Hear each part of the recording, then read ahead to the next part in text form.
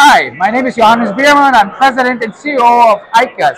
We're at Autotech 2025 at the COVESA networking event. And it's actually great to showcase uh, the aicas solutions here. I'm joined by Michael Reimann, who is our senior solution architect and product manager. And he will share a couple of details on what we show here. Michael, why don't you show us?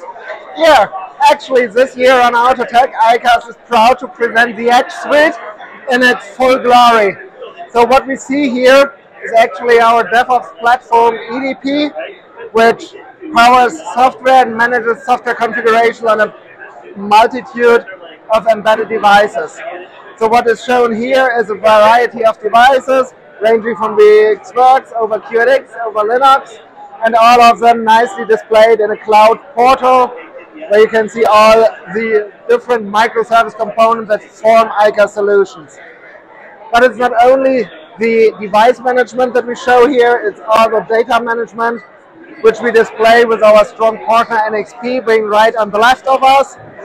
So integrated in NXP automotive hardware, we have a data platform where our users and customers can manage their data, choose which data to pull from a system selectively, so to have maximum efficiency on data from embedded devices and vehicles since we are in the automotive domain.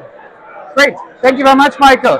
And if you need more information, you go to www.aicas.com or you contact us uh, through the uh, contact form. Thanks very much and uh, all the best.